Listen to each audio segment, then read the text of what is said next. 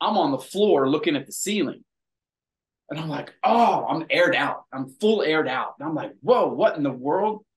And I'm like, hey, he's like, you okay? Are you okay, Lee? I'm like, yeah, yeah, I'm, I'm good. And I look at my boss, stunt coordinator, Bob Brown. He goes, hey, man, you good? What's up? No, no, my bad, my fault. I, I thought something. It's okay. I'm ready to go. Do it again. Take two. Same thing. Comes up to that spot. Boom. Bam. I'm on the floor. And he looks down at me and I'm like, it's okay. My guys, I'm so sorry. And you know, Bob Brown's like, dude, what are you doing? It's take two. You know, you know what's what's going on. Take three, same thing. And I get aired out again, and I look up and I saw the little twinkle in Jackie's eye. I'm like, oh, because he goes, Lee, you okay? Why you cry? Come on, man. I'm old man. You young. Let's go. And I'm like, this guy, he was messing with me. It's my first day of actually fighting him on camera, and he was just messing with me. So I'm like, okay, I got it. Obviously, take four. He went to throw an axe kick. I just took the reaction back. I didn't care. you know what I mean? I'm like, whatever, I'm going.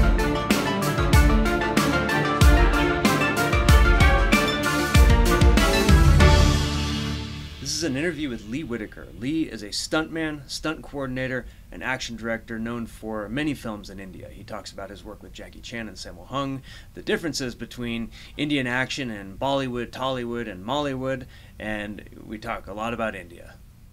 Thanks for taking time to talk to me. Uh, Absolutely. Uh, if you look at it, um, Kalari, which was from Kerala, right? Um, they say that that's the oldest martial arts on the planet uh, which is like it's well over three thousand years old, I guess, right now. And when you watch some of that that style and how it's done, you you can kind of see kung fu influences from that. You can see capoeira influence that kind of come through that from the, a little bit of the dance and some of the art form of that as well. Um, not as quite as polished as you as you would say like a modern um, Avenger kind of vibe. Because as we as we look at Avengers comic book styles or even John Wick is more clean, you know, staccato kind of stuff like that, where theirs is a little bit more fluid and loose and stuff. From kind of an outsider's perspective, has it changed? Like, does it does it change as an art, or does it is Not it just really? Like... It really hasn't evolved. Like you can look at you can look at different styles of martial arts from from Taekwondo to to Kung Fu and all the different um, Chinese styles, right? But you know you look at the the wushu how it how it's evolved into a more of a beautiful fluid dance right? Kalari uh, kalari if you look at it even today the practitioners of that and the methodology and how that how that progresses right? How they go through um, their training they go through their weapons and then uh, finally after the after all the weapons are done after all that training's done then they get into the practice of healing the body because like so they start learning how uh, the different points on the body that could be healed because they get injured so much through their training and stuff like that and also when they get into warfare. So they're learning um, pressure points body massages stuff like that which is really quite interesting. I don't know any other martial art that does that. You know i think dancers are the only ones that actually take care of their bodies more than than the martial arts side yeah. which I learned through. Um, I did a my first show was George Lucas Super Live Adventure, and that show had a mixture between stunt people and dancers. So we had like thirty something dancers, and through that we learned the power of stretching and massage, and everybody gives each other's massages and all that other stuff, and how important that was for the body to remain at that athletic level. And from what I understand about Kalari is that it also has a I mean, it's almost like entirely spiritual in some ways, right? Oh yeah. Well, it came from I forget what lord it was, but you're right. It's highly spiritual into Hinduism and stuff like that. Um, and and where that kind of derived from. You know, they're so big on their on their spiritualism over there. When it comes to that, the Indian culture, whether from the north or south, it's heavily about spirituality and stuff like that, which is really cool. That they still have such a grip on that. They're honest about it. Hundred percent, and you know sometimes you know whereas like we as a culture um, from the state side, we hide certain things. You know, we we we keep inside. We just don't say it. Over there, no, they'll just say it, which is kind of refreshing. You know what I mean? And and they say it with couth, but um, they just tell you how it is, which is really really cool. And I've been a part of like the Mahabharata and learning about the Mahabharata and all this other stuff, and it's cool to finally see their their entertainment industry, their cinema, finally at a level where they can start to expand with that because it's the oldest literature on the planet. You know what I mean? They haven't had an opportunity to bring that to life, to bring that story. They've done it many a times, but the technology was never there. The CG was never there, right? Or the money to get the proper CG. So they're finally starting to break into that right now, which is kind of cool to see. So before cinema, though, how did they express those stories? Not just, I mean, I mean, obviously you could have had just the bards, and now the bard role in India is very important. We had a bard on set uh, yeah. when I did my movie, and I saw him go at it once. He started telling stories, and I was like, "Whoa, this guy's like in like a profession as a bard," you know. So yeah. was there was there some kind of like theater at the time as well where they could kind of act still today out? still today so you know they have so many festivals throughout the year you know what i mean? So they're constantly having festivals and still doing theater and dance and celebrations and parades and stuff like that on each of those you know? Um whereas here it's not as common. I guess i mean i guess we have ren fairs and um shakespeare festivals and whatnot but it's all a little bit i don't know. Yeah, I mean, you look at the Easter Bunny. I mean, I mean, it's like, oh yeah, it's not even a comparison, even though it's a national holiday. You look yeah, at, you know, yeah, yeah, yeah. But over there, you have the, the Festival of Lights and Diwali and stuff like this that has so much culture and meaning yeah. in it. Um, it's really kind of cool to see that a culture still alive within their festivals and their beliefs. You know, with at these theaters, I mean, would they would they reenact battles and were there theater stuntmen that were yeah, yeah, there are. There, yeah, just like we have live shows over here, they still have uh, little live shows over there as well. You know, they'll put on the theater for that, like the Kalar. You they'll come out there with the sticks and the swords and the belt. I know you're familiar with the the belt sword, which is really cool, interesting uh, piece of technology, and it was really cool too because when the British first invaded them and, and um, uh, Kerala, they were getting the butts kicked because they just weren't used to that kind of warfare. You know what I mean? Who knew what a sword could flap like that and attack you? Do you know, was there a history of these performers? Like, is there, for example, you have Shakespearean sword fencers that have this hundreds of years of fencing training for theater. Was there some kind of role of a theatrical performer like that?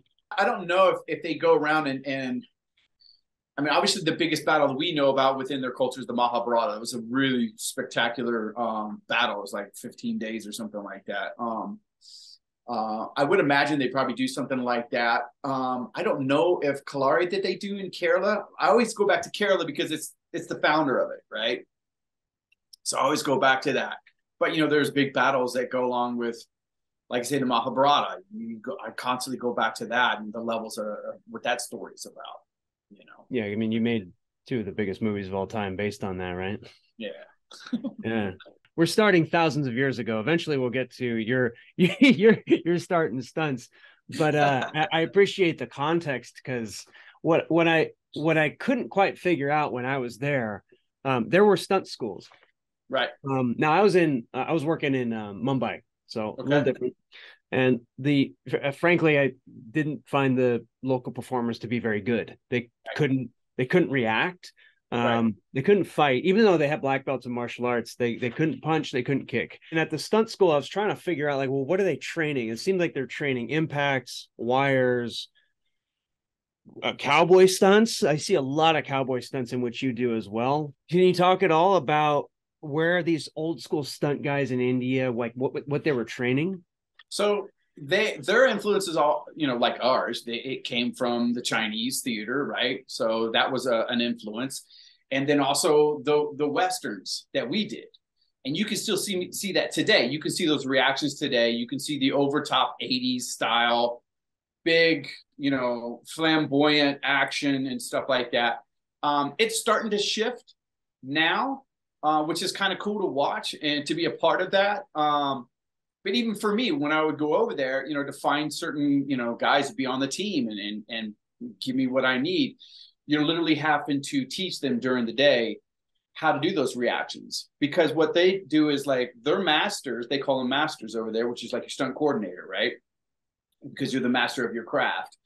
They're just listening to that guy and just giving what they need and the master sets it up and then you know the director they always you know they obviously hired that guy so they believe in that vision and that's what they're ended up coming out with.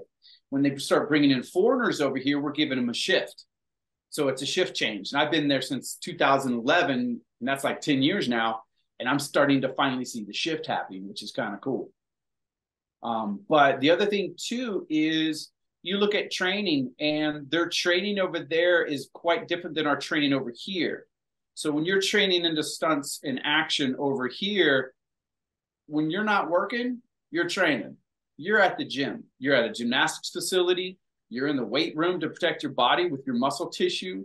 You're stretching. You're out in the park fighting with your buddies or in some kind of training facility. So you're getting, you know, sharp on those skills, whether it be fight choreo, your reactions, trampoline, so on and so forth. Over there, I've been trying to talk these guys into doing this for a long time, sending them stuff on on Instagram and stuff like that. I'm like, look, you don't need a facility. You got a park, you got a beach. Get out there and train and try to stay sharp and and and make sure that you're keeping your eyes and your your thumb on the pulse of what's happening within your cinema. It's important, otherwise you get left behind. I have a funny anecdote uh, about uh, some, you know, auditioning guys, and you've been through this too. I'm sure you audition, you know, hundred guys in a day a lot of the time, and and when we were auditioning guys, like I said, the locals weren't very good, but then every now and then there'd be a dude that looked like he was Thai or Chinese, but they're Indian, right? They're from Assam, Nagaland, yeah. um, Nepal. Yep. And these guys sometimes spoke no English, but they could wipe the floor with everybody else in there. Yeah. Not only were they just physically just better, and they were like their vocabulary was better, um, but they also when we ended up hiring all those guys, and we had like a set of eight dudes, and there were some locals in there too. Um, in between takes, these guys were overshooting their own indie films, like stealing shots on the location. I was like, "That's how you do it, guys." Like, see them. I was just pointing like, see them right now. They're yeah. just practicing and they're making a video. Yeah. That's how you learn. Yeah, that's it uh, we were in Tbilisi, Georgia, filming. It was an Indian movie we were filming, and we had some Ukrainian guys come over, right, on our team because it was a, again it was a film that was British against the Indians, um, and the Ukrainians and the Russian guys that were over there in between takes. They again, like like you said, they were shooting their stuff. They were training. They would grab a mat, practice reactions and stuff like that. You know, they're not sitting on their cell phones on Instagram or anything like that. You know what I mean? Which is kind of refreshing you worked on Rangers a lot. Did you work with Isaac on Rangers? Or yeah, Florentine. Yeah, I first worked with Isaac on uh, WMAC Masters. Okay, yeah, yeah. That was like that was pretty much the beginning of uh, a lot of uh, Floridian guys uh, uh of our our kind of creation of it all before we moved to LA. Oh, interesting. Tell me about the Florida scene. So Florida scene was here. You had like Disney and you had Universal Studios, and you had all these live shows and you know they, they were very big live shows. A big Wild West show. They had a big lagoon boat boat stunt show that was like Miami Vice with these big scarab boats. It was really amazing. And same with Disney. You had the Indiana Jones show and all this other stuff. All these shows required a high level of skill set because you're doing all these shows repetitive day in and day out, and you don't want to get hurt. Blah blah blah. The scene started to grow so much, and everybody was such a family that you know again we were just like oh the big the big dream is to go to cali to go to la you know to be in the movies you know? So we were always training always training to sharpen our skill set and our craft so that we could get out there. And then all of a sudden there was talks about oh florida's going to be the next la because of the studios that disney's building universal's building right? But because of taxes and the weather over there it just never happened. You know you're raining every day. And you're shutting down production for two three hours that's a big issue. So we all kind of started there, man. And uh, I remember WMAC Masters came through and uh, they hired me uh, because I could take mad reactions. That was my thing. I would make those guys look so good. I just, I, that's what I was learning in Glenn Wilder's backyard, who was one of the founders of Stunts Unlimited, you know? Was uh was Isaac in Florida at the time? I know he's there now. He was. So WMAC Masters was in Florida. That was in Orlando this is a new piece of history for me that I I really appreciate mm-hmm. knowing about this. What were you guys training in stunts? I mean, you're, you're this is sure. like holistic stunts, right? This is like yeah, totally style stunts. Like, what were you pulling from Chinese and also Western stunts? Oh, for sure. Um, because there were everything was so different. So obviously when we all first started, the Wild West fight style was very prominent. You know, the big rear back, throw, punch, big reaction. Everything was kind of big as far as that. We would train that. We would get into your high fall training on towers and, and hitting porta pits and stuff like that. Mini tramp was an amazing tool for air awareness, which then translated over to the air rams. Yep. And then when Jim Churchman started to redesign the air ram, it took it to the whole next level because the first air rams they were so small, it was like a shotgun, it's gonna blow your leg off. You don't hit it right. And then Jim Churchman and Nick Brandon built a progressive one. You hit that, it was so soft, and then it boop, and then we were like launching 20, 30 feet.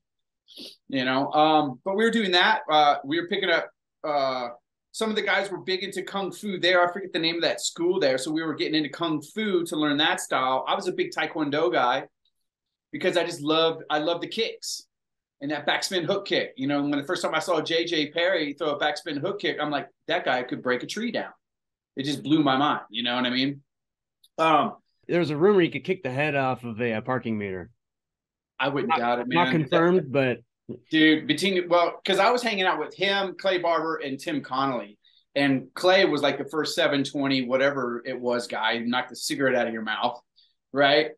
And then Connolly and Perry, Perry, JJ had such these big thighs. His quads were so massive. It just looked like so much power. I would never want to get hit by that. No thanks. Break my body in half. Skip up. you know? Um, so we were getting into that. So we were trying to make sure that we're learning all these different styles so that when work came in, we had a, a, a proper vocabulary and a library of skill sets. And then we learn rigging, stunt rigging, whether you're on the wire, flying on the wire, or you're actually rigging the wire or you're pulling, because you can learn a lot pulling as you do riding, right? Comes hand in hand. Uh, and then we're obviously learning uh, some driving and, and stuff like that and fire and boats and underwater so it was constant. It was constant. And the community was just growing and growing.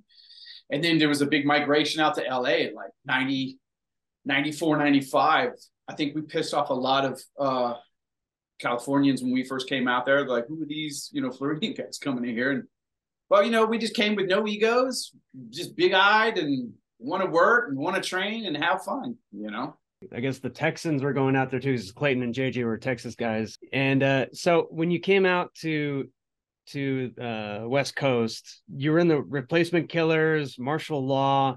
There's this sort of influx of Hong Kong guys coming in, just like right after the Floridians, right? Well, you had you had Rush Hour pop out, right? So that was like a big deal. And then you had then the TV shows were starting to do it. Buffy the Vampire Slayer.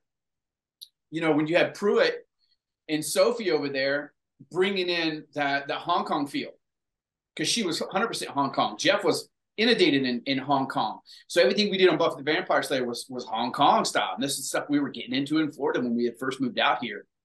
And then um and then martial law. I mean, when I got on martial law, uh, Sammo loved me. This was a bucket list for me to fight that guy.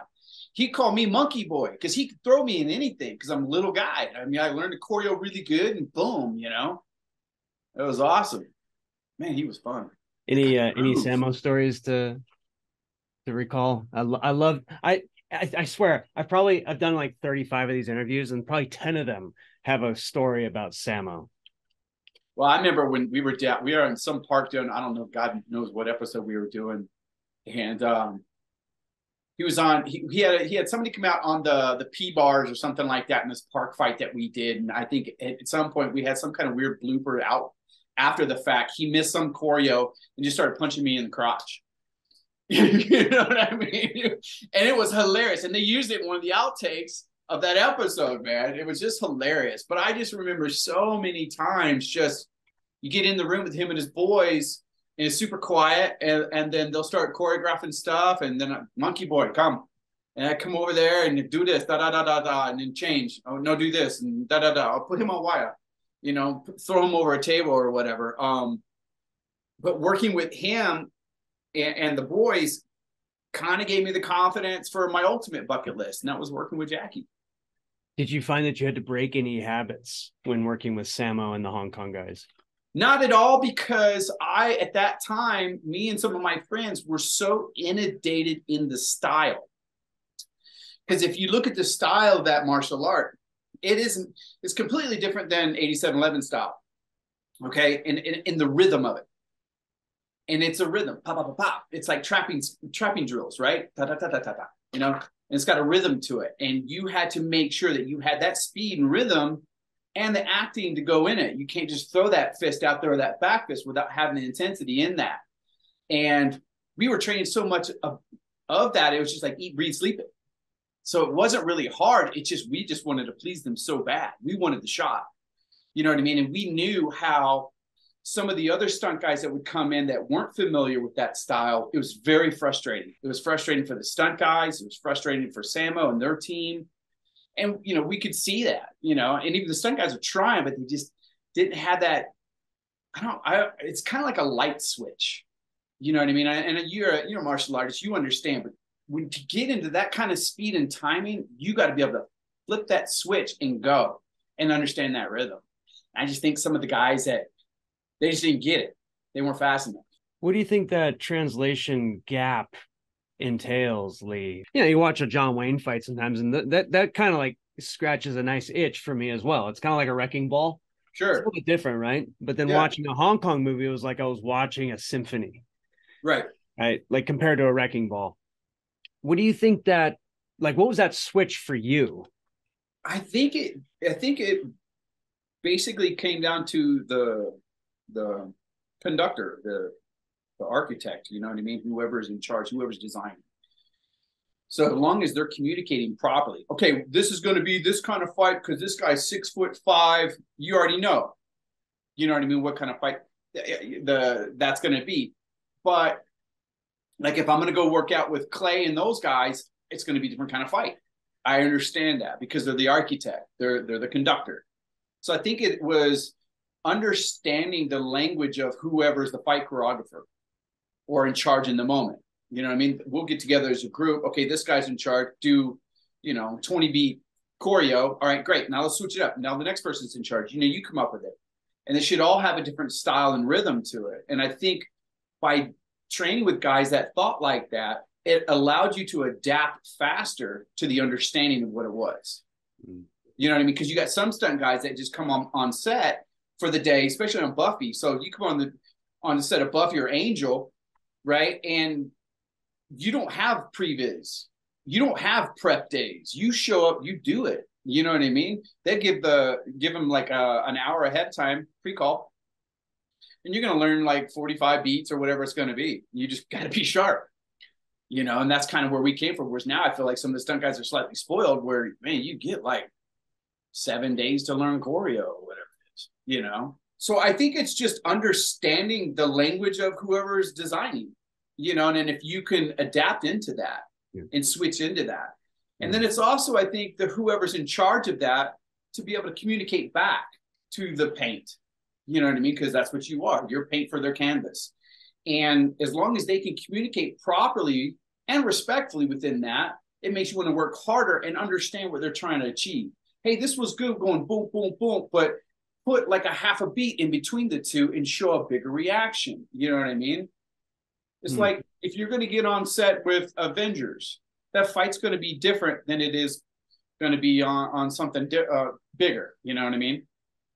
And I think the best, I think the time that I got to see kind of the two kind of come at it was Fast Eight. Uh, I don't remember which one it was, but you had The Rock, you had Dwayne fighting Statham and Statham kind of had that 87 style and a little bit of Jackie style getting into the 87. So it's a little bit of that mix because he had the timing, but he had a little bit more power on top of it. You know what I mean? So when you saw him fighting Dwayne in that sequence, you could see the big Arnold style and the big wrestler style. And then you could see also the more art style, the more martial arts kind of vibe. I thought that was pretty cool combo. I just wonder like where that 87 style comes from. I've been trying to put my finger on it. Well, you look at like I mean you look at Chad and Dave, right? And let's say use Chad, Dave, Marcus, JJ, you know, uh, Clay and Tim and all those guys. Most of those guys are Taekwondo. So, you know, they're they're foundation is Taekwondo. So you might be onto something there. I personally don't know. Um, but it that does make some sense. Whereas you look at like Jackie, he's he's all over the place. He's fluid. And that's what I loved about him. When he gets into an environment, use the environment. Don't just stay in one spot and fight. And I, I've taken on that within my own choreo and the action design that I do, especially if I have a beautiful room. I'm looking at what I can destroy and how I can get around that room. So that also, I love cinematography, and that is so embedded into my brain about a shot. So I want to see the travel into those locations so I can get beautiful shots at the same time. You know, if I stay straight, you know what I mean? I'm never going to get that. I'm only going to get that. Yeah. You know, and then maybe a wide profile. Do you have any stories of Jackie uh, improvising and coming up with choreography on uh, Spy Next Door? That's when you did with him. Are you right? kidding me right now? This guy. I have so many good stories on Jackie in that in that movie. I was so stressed daily. I don't think I ever in my whole career. I remember getting to lunch each day, and even rehearsal days, just getting to lunch and what's that smell? Oh, that's me. I was so stressed that I was sweating so bad, and I was stinky from that sweat, that nervousness, right? Uh, but we were learning like 75, 80 beats. And we show up and you got to be quiet. You're in the back of the room like this and we all get into the environment and Jackie and his boys, they they'll be walking around for four hours, just figuring it out, just figuring it out. And you just you you back there quiet. And then you're watching all these moves, and I'm like, okay, there's like 80, 85 something moves. And and I had to double two different characters in the movie, and I'm fighting him each in each one. And I mean, I'm talking like it's one thing to just watch them choreo it, but to be a part of the choreo, it's easier to, you know, to remember because it's, you know, body awareness, right? Were you were you it's, doubling it's, the the guy in the blue jacket? Were you doubling him? Correct. The main villain. Yeah. I doubled the main villain, and then I did uh I doubled the kid in uh also the kid, uh, the love interest in the very beginning when they're in the the um Asian uh restaurant. Right and that was my first fight with Jackie was in that that restaurant, and I remember like okay they they mapped it out and then we and he just came up to me like okay we're gonna get in now and I'm gonna start to work on some choreo. He goes just tap me on the shoulder. He goes don't worry tomorrow I'll change. And then they left and I'm like, hey man, we didn't have like you can't have cell phones where you can just like record what they're doing and like go back in the hotel and practice and all this other stuff. So I'm stressed out. We have yeah. How did they how did they even remember anything? So the next day you go to a rehearsal place, right? And so you're gonna rehearse, and it's already changed. Like those guys got together that night, changed it already. So I show up and, and they're they're working on the core, they're working on the choreo, and then they're like, hmm, and they changed it again. I mean, like for four days in a row. And finally on day three, I got in. Start doing choreo. Start doing choreo. Lee, don't stress. No, no worry. Tomorrow it change. Sure enough, day of shoot changed. I'm like, oh my god. So I was so stressed, man. And then I remember we got to the section where we're fighting. I pick up a knife, and he's got to you know, kick the knife out of my hand and do a push kick. And when he does a push front kick, right, I go over a table and then over another table and out through this glass window. But each time that we came up to that push kick, boom, he blocks that knife out with his foot as a crescent kick, boom, and goes for the push, push kick. He's doing an axe kick on my chest. I'm on the floor looking at the ceiling. And I'm like, oh, I'm aired out. I'm full aired out. And I'm like, whoa, what in the world? And I'm like, hey, he's like, you okay? Are you okay, Lee? I'm like, yeah, yeah, I'm, I'm good. And I look at my boss, stunt coordinator, Bob Brown. He goes, hey, man, you good? What's up? No, no, my bad. My fault. I, I thought something. It's okay. I'm ready to go. Do it again. Take two. Same thing. Comes up to that spot. Boom. Bam. I'm on the floor. And he looks down at me and I'm like, it's okay. My guys, I'm so sorry. And you know, Bob Brown's like, dude, what are you doing? It's take two. You know, you know what's what's going on. Take three, same thing. And I get aired out again, and I look up and I saw the little twinkle in Jackie's eye. I'm like, oh, because he goes, Lee, you okay? Why you cry? Come on, man. I'm old man. You young. Let's go. And I'm like, this guy. he was messing with me. It's my first day of actually fighting him on camera, and he was just messing with me. So I'm like, okay, I got it. Obviously, take four. He went to throw an axe kick. I just took the reaction back. I didn't care. you know what I mean? Did you I'm like, whatever, I'm going. Did you respect you after that? yeah, and that was like the beginning of it, man. And after that, like I, they were just he was testing me out to see how my mentality mentality was going to be, how quick I could learn, and how I was going to deal with it. And every fight we fight we did after that, we just clicked. I mean, I just that was my timing, that was my jam. You know what I mean? Back then, and I remember when we finished the show, you know, we had a big dinner because you know he always wanted to have dinner every night, and there's another stories beyond for that, and uh, and uh, I just remember him toasting me, uh, which that really meant a lot to me because he liked my timing. He was like, it's all about timing, and and you're one of the very few Americans that have that kind of time for a white boy. And I was like, that's really cool. That's cool, man. Yeah. Yeah. Thanks. That's a, that's a good story. Yeah. It's kind of that, um, I'm reading a book about um, Beijing opera right now, and mm-hmm. uh, in the way that that whole process works. And I imagine that, like in Beijing opera, it's like if you've got a show, you're probably going to be coming up with stuff the night before and changing stuff on the fly. And that must just be how those guys work, man. Because the Hong yeah. Kong stuntmen are just like version two of Beijing opera and Cantonese. Right, hundred percent. Well, that's where he came from. That's where Jackie came from. You know, um, he he came from that whole vibe. I, I think what I kind of liked about the lesson of it was like our business in filmmaking. It's an ebb and flow constantly. Everything's changing constantly. You never, nothing's solid. Even when you write the script, it's going to change and go through so many renditions. You know what I mean? And it's how that if you try to fight that, you're going to lose or you're not going to survive in the business, you know, and that's just life because life is a constant evolution.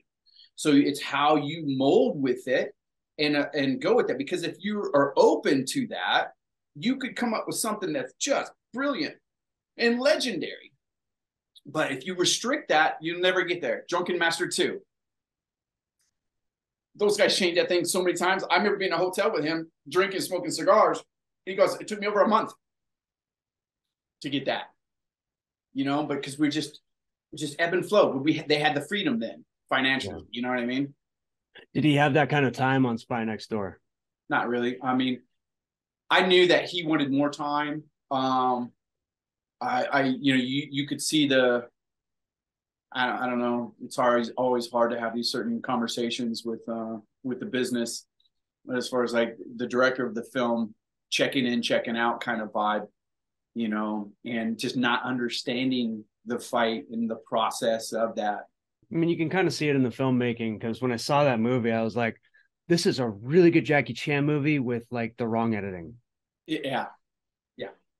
Everything else was like, then this is this is Jackie Chan, but it's just like it's like a you know, the framing is just I don't know and that was some of his battle, you know, is getting in there with the with the, the camera guys and you know the director and, and your DP and stuff like that. Because when you're going to get into a Jackie film, let Jackie do Jackie.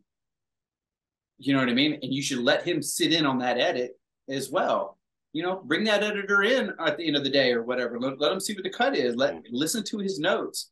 And I think too, like when you talk about shows like Buffy and they were letting they were letting Jeff Pruitt get in on Buffy on some of the editing in the beginning. You know what I mean?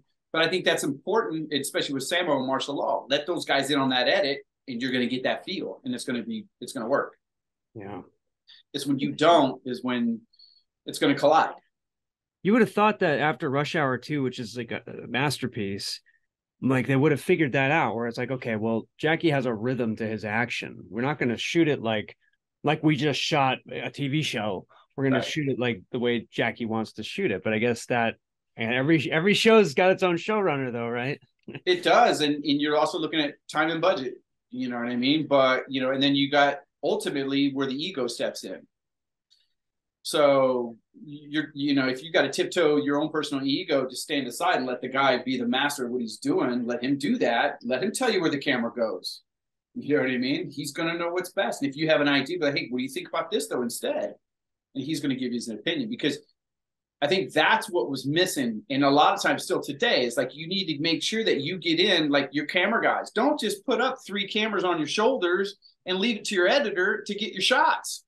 It doesn't work like that. Listen to your action guys. They know action. They know how to capture it the best way possible. So when they do a previs, try not to go, hey, you just shoot it flat. We'll decide where the camera goes. Okay, well, you're missing the mark now. And that's why now we're starting to direct movies. I had the same thing happen uh, where uh, on Altered Carbon, I previs the um, the first fight in the hotel. But I realized, well, first of all, the director came for about two hours. It was a week long previs at um, 87.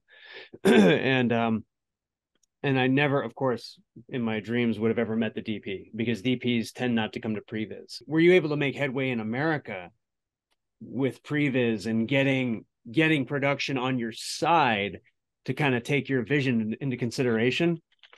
yes and no. And here's where here's where that fine line is.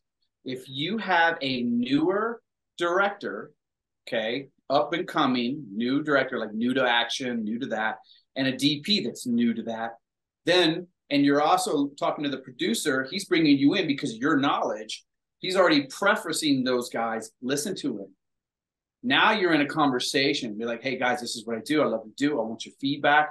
As long as this guy too doesn't have the ego like a brick wall, be like, no, it's my show, it's my game. You can't do that either. So it's just working together to to to get to that. When it's that pubescent of a period, you're you're going to be able to, to fly with it because you're essential and a vital tool to production and money, right? Let me pre-visit. Boom, boom, boom. If you got some suggestions on the day, let's let's go for it. As long as we're on time, we can do that. And that's when it rocks. When you start getting into the higher up stuff, nah, you're you're you're dealing with, you know, if you're on a Marvel film or whatever, most of the time it's already animatic. It's already done, yeah. It's already done. So there, and, and I see a lot of my friends get frustrated because you know where's the creativity in that where's the collaboration in that you know? You have amer- amazing performers and rigging teams and and coordinators and action designers you know or, or you got these guys in a cubicle trying to just come up with you, you know what i mean? Trust your guys let and but guide them. Yeah. You know you're going to come up with some really substantial stuff. Yeah and that's one of the conversations we're always having in games now which is uh, get us in on the animatic process so that yes. we can work with your DP. And that that's what we did on God of War Ragnarok. That really helped sort of like streamline it because not only not only were we able to you know act on our action vision, but we actually understood what the DP wanted. Right. We get into his head because the thing is, like a lot of the time, DPs also maybe they're maybe sometimes they have an ego because they're trying to figure it out too, and they just want to figure it out. I mean, that what you just described is the best situation because then you get the DP's knowledge. Yes. And then you're like, then you have art, right? 100%, man. And that's why I've spent the better part of my past 10, 15 years trying to understand the DP's, DP's mentality. If I can get into his head and I can give him what he wants faster, because he's trying to create art in every frame. You know what I mean? So if I can read that and I don't think just about my choreo, or how cool the action is, but how to capture it. And that's where the money is. You know what I mean? At least the joy of the the shot. Like, oh, it's amazing. What I loved about um, Power Rangers and what Isaac did was he would he would sort of take that step when he would work with the DP so closely yeah. to make sure that his action was executed the way that it needed needed to be done. Right. Do you have? I mean, when when did you find that that relationship clicked the, in a particular film in America or a show? I think most most of that click happened in India. When when you got sent over there, you know, if you go over there thinking you're just a stunt coordinator, if you're going over there as a stunt coordinator, wrong. Uh, they're going to hand you, you go, Mr. Lee. Yeah. Here's your director's seat. There, here's your director's chair. Here's the microphone. Let us know what we're going to do. And you're like, whoa, okay big boy pants, put them on. You know, and I think that's because we were already, I was already doing previs before that, but you know, we were kind of held back a little bit. But it was the, it was when it was first starting to happen. You, you know what I mean? Like in 05 to 08, you know, we were getting pretty heavy in previs and pre-visualization. Chad, killed it on the 300 and just really opened the door wide open for everybody in the industry, which was so helpful because now it you need it so much, and I and I try to stress that to every production, um, why you need previs, you know, same reason why you need animatic. But I think India had a lot to do with it because they expect you to do everything, whereas in the states at that time, you know, it, you just do the choreo, you show up, you teach the people whatever, and then they're going to figure out how they're going to shoot it. You know, it was rare that you got to do that unless, again, you're with some newbies, you know, some newer uh, directors and DPs. So that that pretty much clicked for me, you know, and even when we did uh, Abraham Lincoln the Vampire Hunter, um, that was a battle for us because we were battling the Russians. They had already done. Timur had a team in Russia. Oh, Timur did. Oh yeah, so we saw all their previs, right? And we're just like, oh, that's. It was too dated. It was too Jackie. It was to that time. If you look at the cyclical, everything evolves and changes, right? It just wasn't in, and so we were. And he's a pure Jackie that. guy. He's he's a Jackie guy. Yeah. Oh, for sure. Yeah. You know, and a lot of times I've done some films recently in India when I got an action star. Unlike the states, he can move, he can fight, he's amazing. He wants to do Jackie. I'm like, brother, I'm trying to make him Statham. I'm like, you need to see the evolution of your cinema and where, where it's heading right now. I know you love Jackie. I love Jackie. You know what I mean? We all love Jackie and we will always pay our homage to him. It's different right now. And if you don't hop on board, you're going to get passed by. And one of the jobs I did, it was just a promo. And I go, I'm, I'm not coming back to the feature because I designed some really cool stuff to get this guy to a dope level with guns and all this other stuff. And then he kind of did his acting thing on the set and threw a fit and was like, no, I'm just going to do what I do. I'm going to go boom, boom, boom, kick. You know what I mean? And I'm going to do the Van Damme.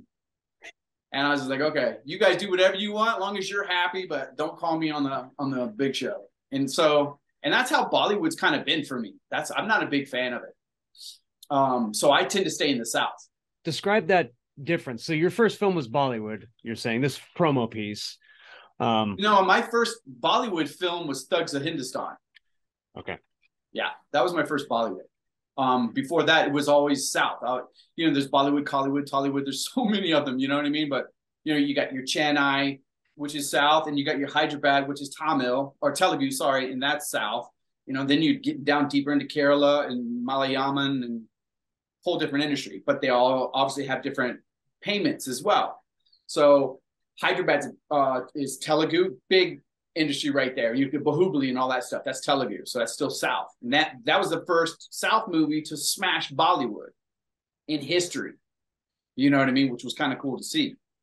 You know, because they always treated that like the redheaded stepchild kind of thing, right? Because Bollywood's Bollywood. It's like boom. But if you look at Bollywood right now, it's struggling in a massive way, thinking they can just throw money at it, which we have that mistake as well that that's going to fix it, but it's not going to fix it. You have to see what the audience is asking for. You got to pay attention to that and give them what they want. Otherwise, they'll just get on their phone and go on YouTube and watch something else. When you went down to the South, and from what I understand too, you know, Malayalam, Mollywood, and the Tamil and Telugu cinema, those are like night and day. Night and day. But they're neighbors. That's the crazy thing. It's finance. So you have to look at your ROI, return on investment Okay. So you look got to look at how much it costs to make that movie and what your return is going to be. If you don't even have enough theaters, enough people going to that theater, or the cost of the ticket for that theater, you'll never recruit that cost. So you can't even afford that cost. It's not that they don't want to, it's just business, it's finance business, right? Bollywood, they can get away with that. They got a big audience. Everybody wants to go see Bachchan or whoever that is. So they know that if I got Amitabh Bachchan, I'm going to have this many people watch this movie regardless. You know, we do the same thing over here. All right, if I got Tom Cruise, I'm gonna I'm gonna make my money back.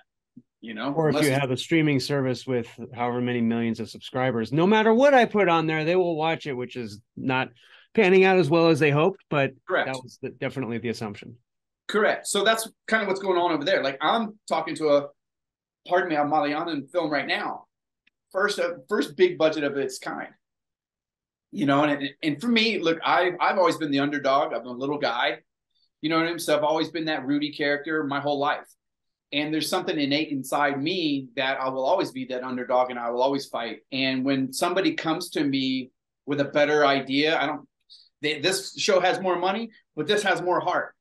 I'm going to go with the more heart always. I'm always going to choose that. You know what I mean? So that, you know, I want to help them rise above it. I mean, Baahubali was that way. And then boom, who, who knew that that was going to happen? But when I when I look at like a like films in Kerala, for example, I almost worked on one. Uh, Vlad ended up doing it. Um, it's much more.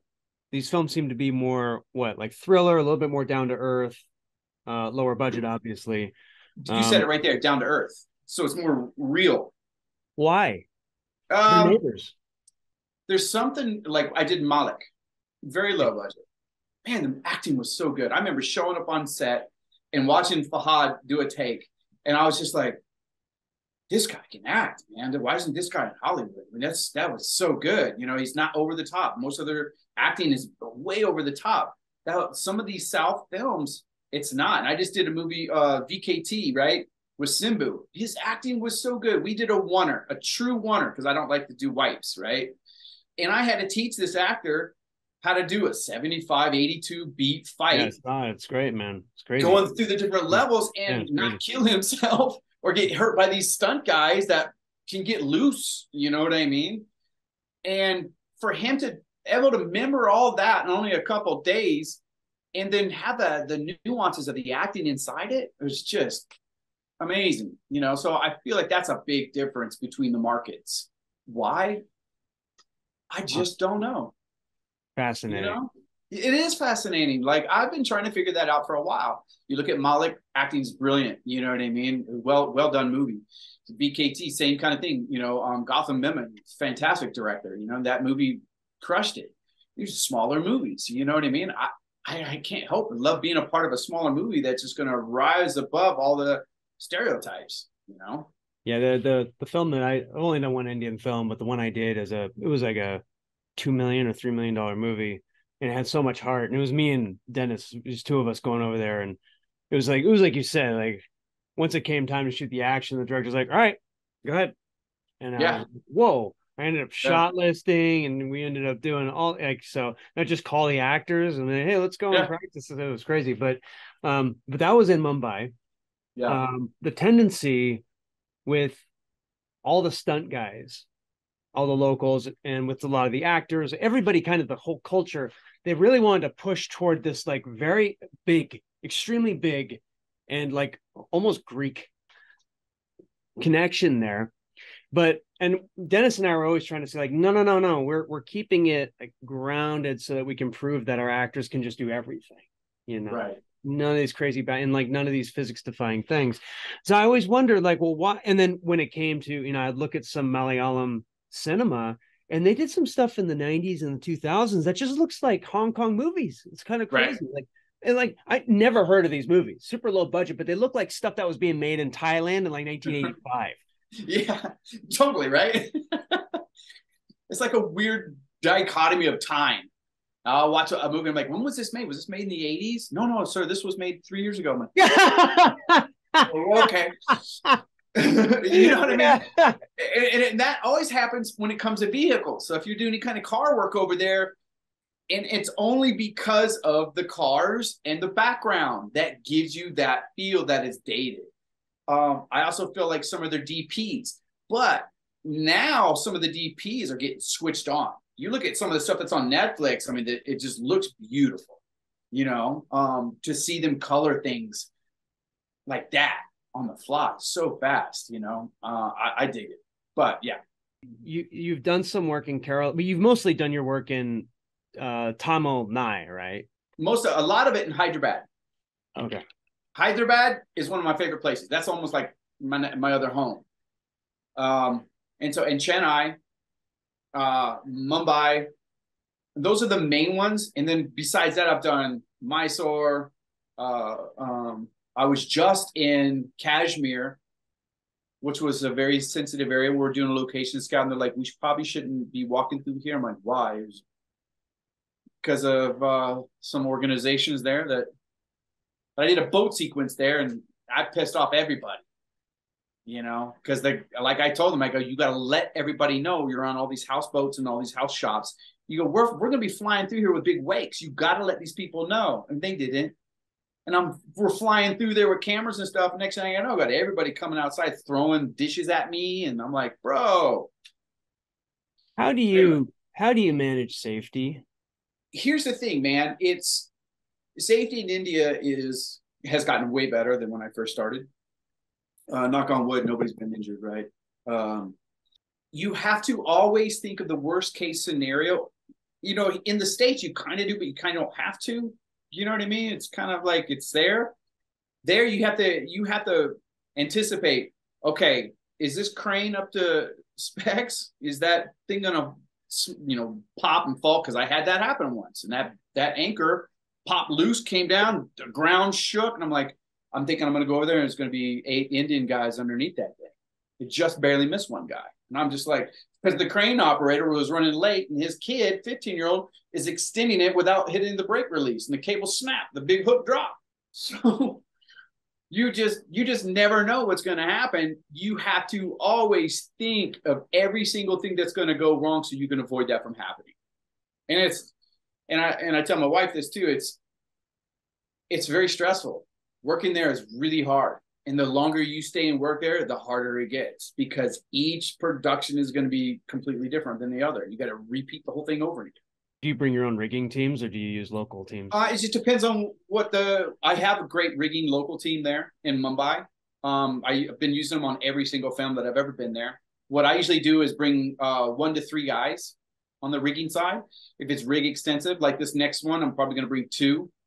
You know what I mean? So I'll bring that, um, but I'll use my local guys there. They're really they're really savvy and hard workers, and you know they're switched on. And I always look for that if if a guy's switched on or not. If, if you're showing up as a rigger and you got flip flops on, you better go home. you better go home. I, everybody. Everybody's got to go home. You all got to go home but my guys now they show up. They all got tennis shoes on. They got they keep their equipment clean and and and which is great. There was this guy outside of our hotel room every morning. God bless this guy. Um, I look. I would go out of the hotel room. I'd hear bang, bang, bang, and I'd go out and I see it. And there's this like new building going up. One guy building a warehouse. One guy on in flip flops, and he's and he's putting he's putting uh, it's not rebar, it's like um you know like the like metal. It's called a ros. It's called a rostrum. He's like talking about the mm-hmm. scaffolding. Yeah, yeah, yeah, metal scaffolding alone, yeah. and and and I watched him for a month, like like an ant building yeah, building his way up. Yeah, it's crazy. Yeah, that's a different. There's something different about that kind of thinking, which, like, in a sense, maybe that's lost from it is it's called it's called primitive thinking and my grandfather was a master at it you know uh, i hope i got some of it because that primitive thinking is hey man they'll build a whole scale you'll see on the side of the scaffolding all out of bamboo just like in china and it works great it's super strong but i'm like i don't know man i don't think so yeah i mean yeah what do you do i mean there's something beautiful about that but at the same time how do you uh, you got to test it, right? You, I mean, I, I assume you go out there and you start shaking it. I mean, the good thing is like most of the rostrums now they have uh, once it goes in, once it goes inside, it, then it has a thing that clicks on both sides, so it can't come back unless you spin that this way, and then it can release, which is great. But again, you you know how we have lunch boxes, not a real lunch box, but like the grip, the electrics, right? and you know it's where all the things plug into. So you go over there to like their version of a lunchbox. It's just wires, and they got rain machine right there. And you're walking by and you're going, that guy right there has a fan. He's blowing. His wires are connected. Rain's coming down, and I'm just like, you guys, you know, it, let's just think about this for a hot second. Is that growing pains? Do you think? Um, yeah, I think it's gonna, yeah, hundred percent. I mean, it's getting there. Their technology's getting better. Their equipment's getting better, right? But it's just growing pains, like you said. It's cost. It's when it's when finally whatever like Hyderabad starts to grow, the cinema grows, right? So then they start getting better equipment. And so that's kind of how it happens. You know what I mean? Mumbai has all the good toys in comparison. But you know, how many Technocranes do they have in that town? Three, maybe. And they're booked every single day, you know. Same with the Ultimate Arms or anything like that. I'm trying to find a, a helicopter right now that has got a gimbal on it, like we have all over the place here. I can't find it there right. I know a guy so who'll build you one out of bamboo. Oh man, the guy already told me. He goes, no, we, we you hold on camera, we strap you inside. Uh, I'm like, dude. I go, there's a lot of stuff I'll do. I'll fly camera a lot using my body. I'm not going to get in your helicopter without my pilot flying it and, and try to get a shot like this. That just let's just not do the shot. It's too risky. Helicopters are dangerous, man. What's your process for training? Let's start with training stuntmen in India. Yeah. And what what have what have your experiences been? The guys will just give you everything they got, and they want to please you so bad, um, and they will work so hard, man, and and then just go collapse and pass out. You know, bless their hearts. It's the hardest thing is is like you have a vision of the body language that you want to see on on screen and how do i get those guys into that body language in how many days that's the hardest thing. It's never going to happen. You're not going to reach it unless you're bringing guys. But more guys that you bring you take away from them having that moment as well. So it's a dichotomy right? And, and, it's just also it's a matter of like okay so i'm going to get on this show i'm in this new town i'm going to train these guys for three four weeks and then i'm out. Are they going to take that training and expand and grow from it? Most likely not and the reason why is the next job they get they're with that local master they don't want anything that i have. They just want that old same old style that they always do. Yeah. So there there's not that innate form of that evolution as a performer. When you train actor when you train the stunt guys over there do you show them reference material of how you want them to move? And how does that translation process? Because again we're talking about that click right? Because indian stunt guys they're they have to make that click as well right we were talking about correct i think that's the hardest thing you know it is is that click but if you can't see your body doing it and until i'm feeling that rhythm and that speed i'm not there yet and we would shoot ourselves and I'll go, okay, it's not there yet. And and I think that it's just repetition of watching that. Here's the best thing. I think uh, I think Chad and Dave used to do this in the beginning of '87. Is they would make their stunt guys break down uh, a sequence, right? You break down that sequence, you know that beat for beat, all the moves, all the camera angles, go and perform it, shoot it, edit it. And I think that is what they got to do. I think that's a, an incredible uh, learning tool because then you can see your body in comparison to the heroes or to that movie.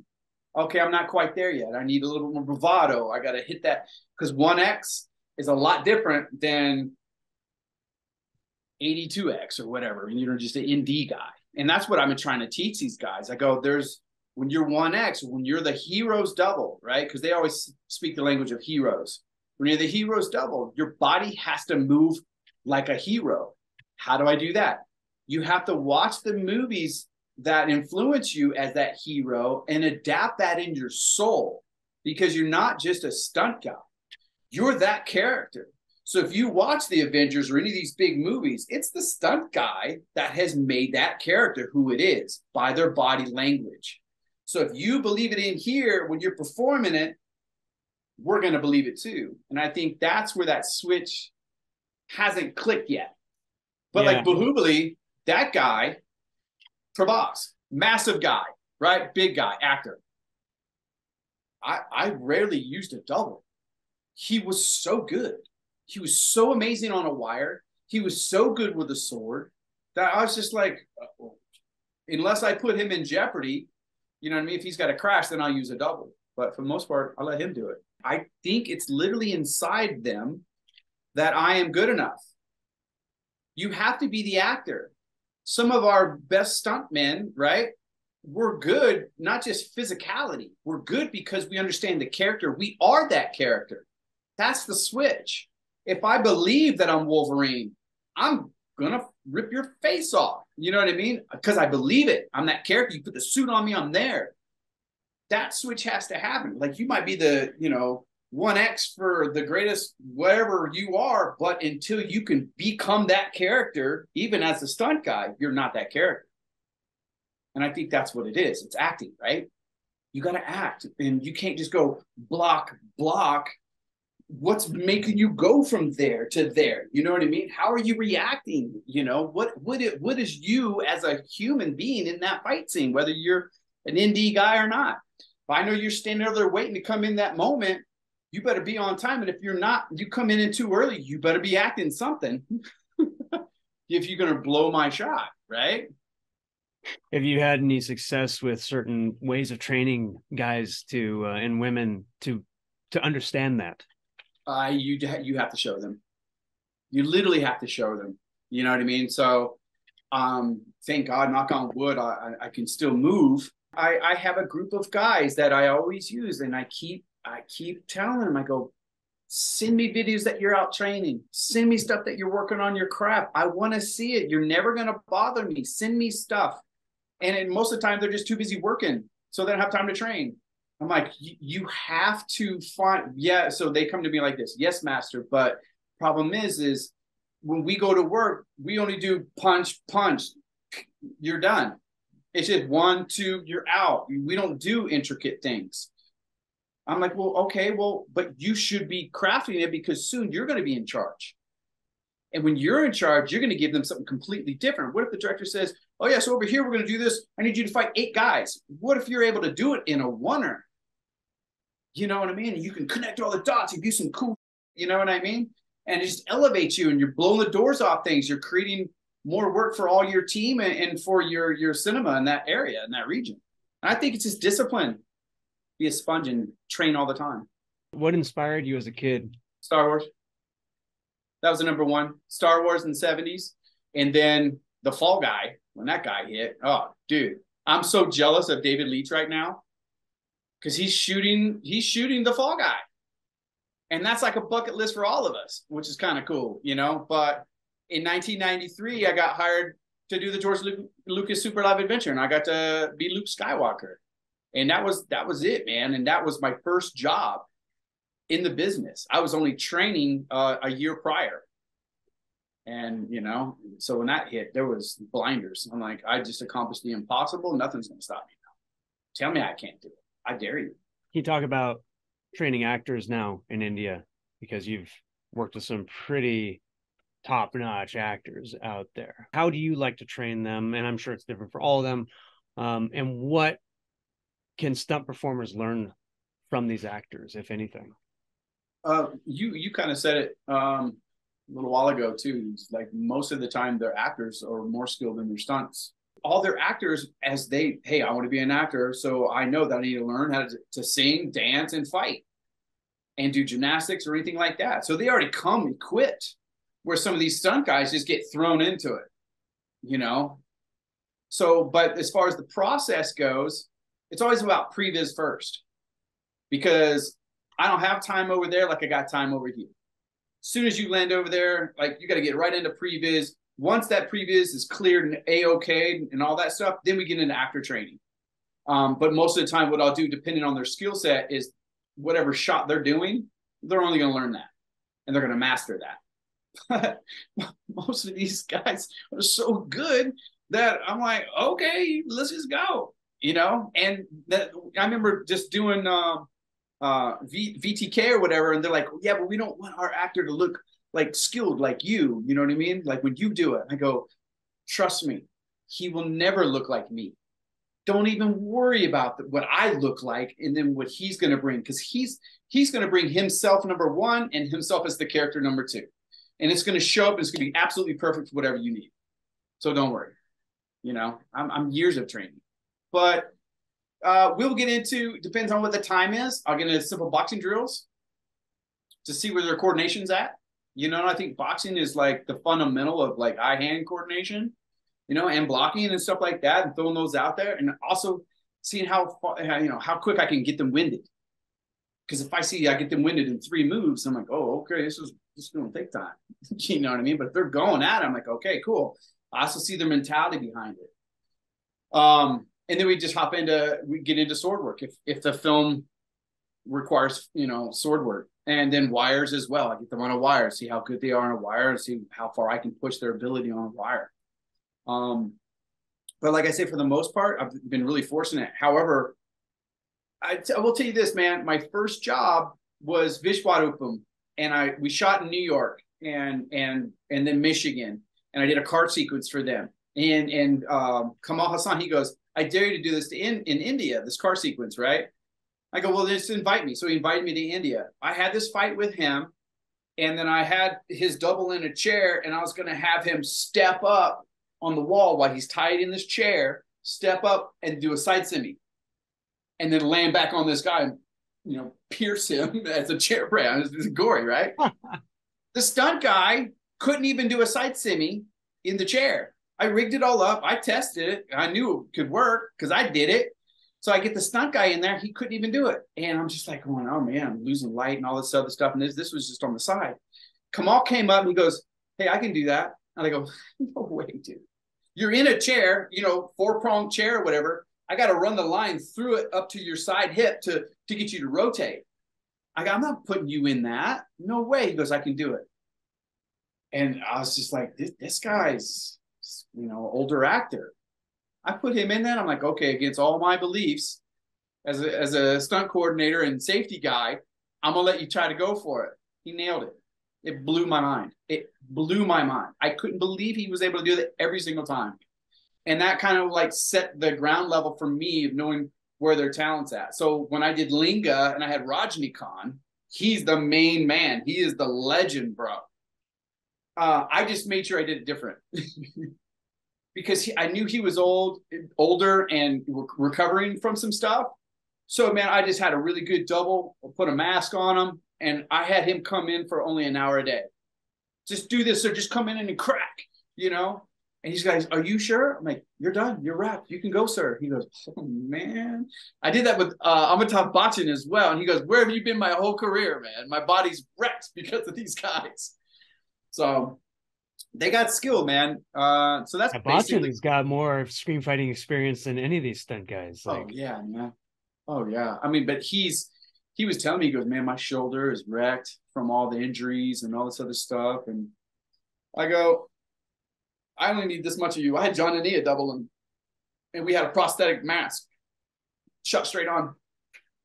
Because if they're coming to you already knowing how to do some of this stuff. Where did they learn this stuff? Did they learn it for? Do they have mentors growing up because they're wealthy? Like, what's going on? That, that's it. You you said both. You got to have money.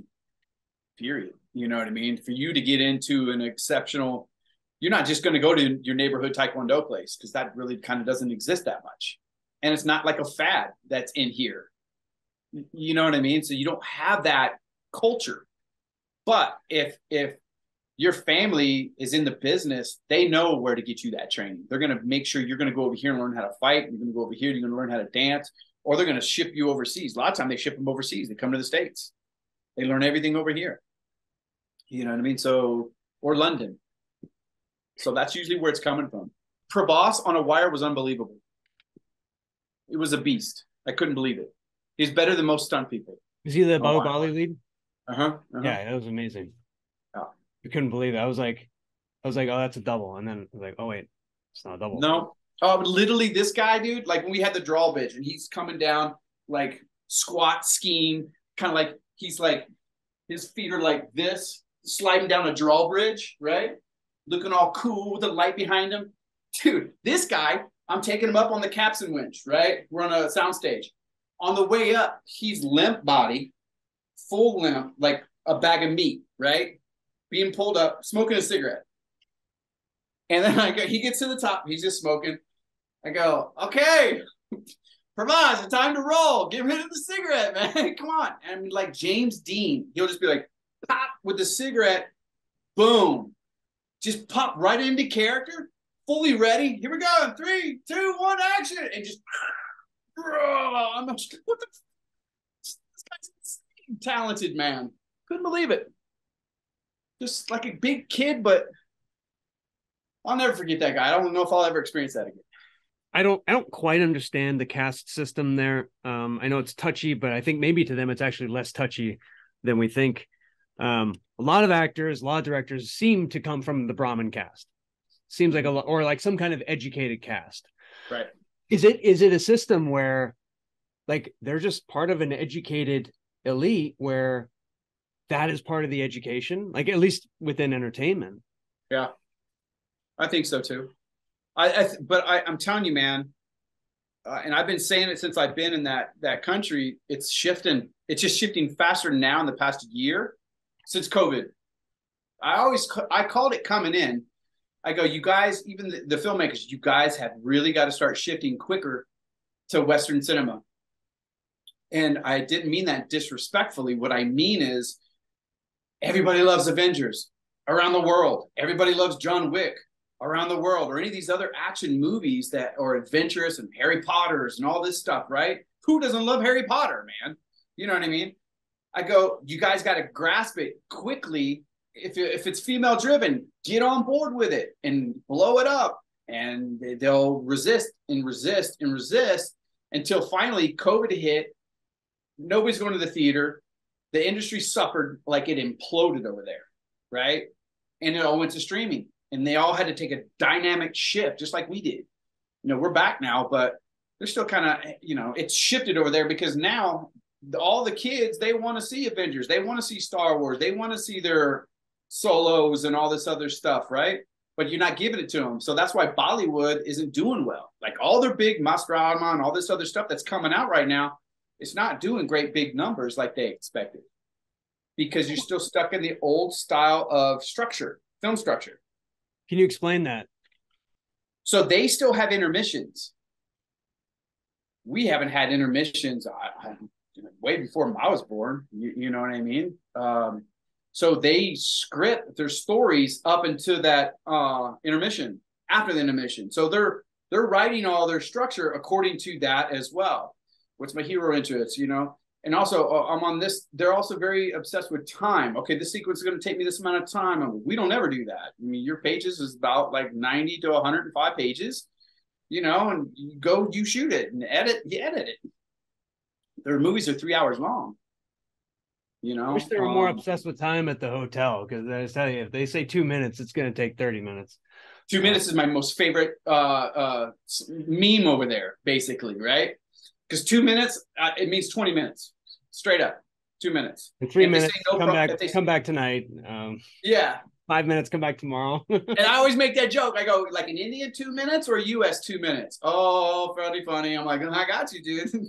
Tell me two minutes when it's gonna be three hours. But i i think that's what it is man. It's it's learning to compress the story and not take so long to tell it. Because in the realm of YouTube, I always blame YouTube on this. I need it now, now. Give me my info now. If your video is blah, blah, blah, I'm not into it, blah, blah, blah, right? I want a tutorial in pr- Premiere on YouTube that's less than 10 minutes, please, preferably. If you can give it to me in five, man, I'm going to click on that, you know? And that's what it kind of boils down to.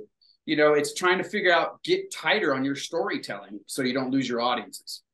Yeah, that's uh it's good advice. It actually seems like they could maybe just take that and make series out of them, but then you you'll still have the same problem probably. Um well, they're starting to do it now. So you got, you know, they're, they're got some series over there, some um that are going on. You got Disney Hotstar and you got Netflix over there now.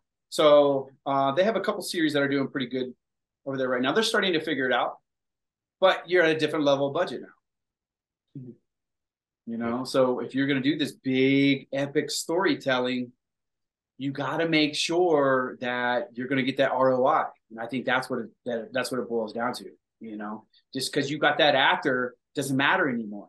Whereas back in the day it did. I could go and watch whoever the Shahrukh Khan whatever you know and it's going to be amazing. Where now just because you got a big budget and a big name that doesn't mean that movie's going to do good because now your audience expects more out of you. You're not delivering what their expectations are. And I think that's the lesson. Is there anything missing from the action in Bollywood that they can learn from America or from anywhere for that matter? Oh, 100%. Uh, I, I think it's, and I'm, every job I get over there, I have to have this conversation. I go, what's the theme of your action? Are we grounded in reality? Do you want this hyper real, raw, gritty? or do you want this? What did you call it a minute ago? Define gravity Yeah, kind of like stuff. a- almost like Greek Apollonian. yeah and you know and i always have to have a conversation because you just never know like yeah we want to ground and rally, yet you want you want him to fly up on a wire and do this thing or hit the ground and five guys go flying up to me that's where the change is and that's where the shift is but there are some films over there that when they do something big and flamboyant like that it's like wow you know, like us, it might seem absurd, but that crowd, that audience is going nuts over there. You, you know what I mean? So it's finding the the pulse in the right moment to do such a thing. It's just finding that happy medium is where I can go too much or too little. Because for me, when I first got over there, well, how big do you want to go? You know what I mean? Because I would always do everything grounded. Oh, bigger, sir. Oh, flying? Oh, yeah, yeah, yeah. That'd be great.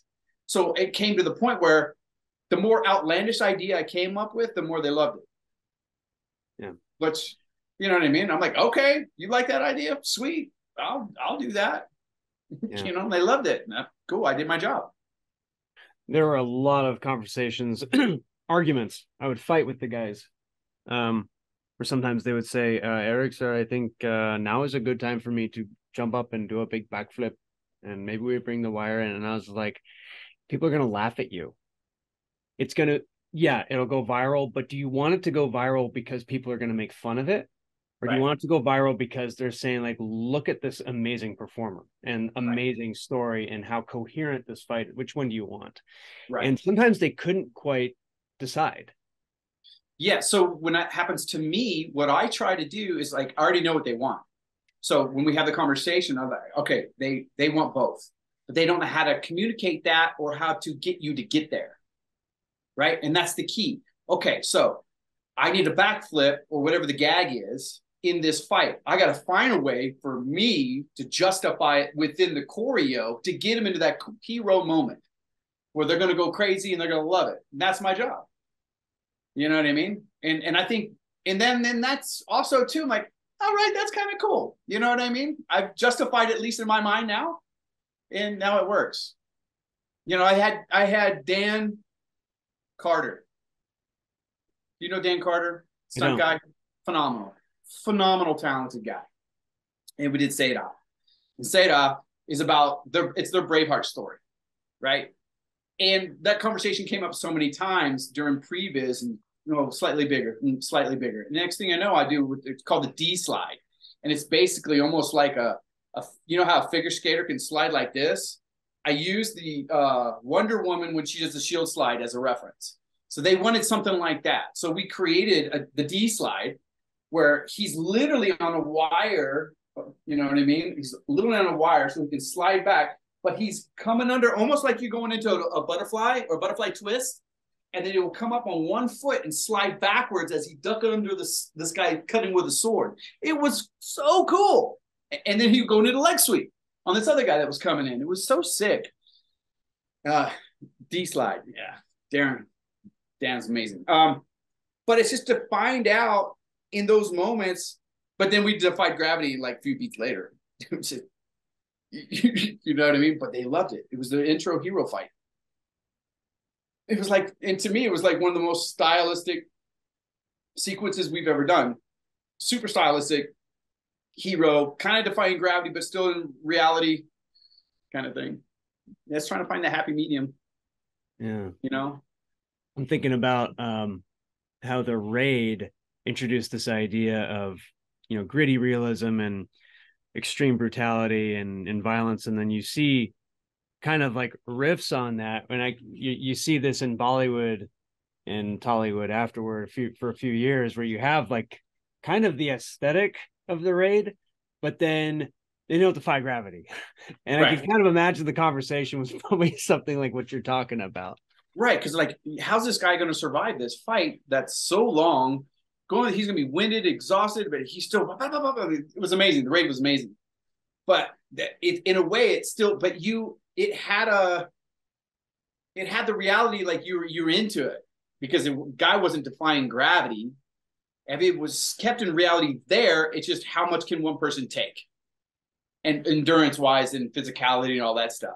But I think we as an audience forgave all that shit because it was just so good. It was like our old kung fu shows back in the day. It, it made me feel like that inside. You know what I mean? and all the moments, all the connective tissue too, I think is actually some of the genius stuff in that film. Like in between the, I actually like the stuff in between the fights better than the fights. Right. Um, the moment with the blade through the wall, uh, ah. you know, the thing out the window, like those are Gareth's moments, you know, right. right. Where it just took this very kind of savvy horror filmmaker right. piece together these actions and find this really in like the connective tissue is quick the dialogue goes quick it's pretty much what you're talking about where it's like right. it's not make a three hour epic with tv drama in between every fight. Let's just get to get to these moments. Do you think that india what? do you think it'll like how, how does it get there? Well to to go back to what you're saying before i answer that it was also made as a breather for your audience so you can only take so much of I can't breathe, I can't breathe. Give me that drop. Give me that cinematic connective tissue, like you're calling it, so I can breathe, and then you can bring it back up again because it's a rhythm, right? Because you want to keep that going like this and drop it down.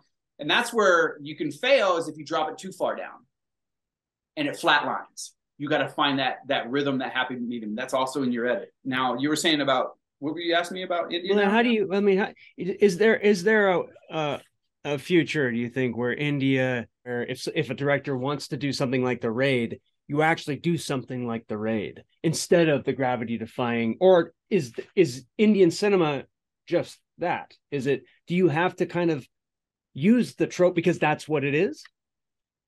Uh, I I think there is a world that could have that and I, you know, the raid and just all their style, like what they own, especially in the South, you know, like Kerala, especially Kerala, because they have a specific unique style. It's making sure it's about your core stunt team. It's all about your core stunt team.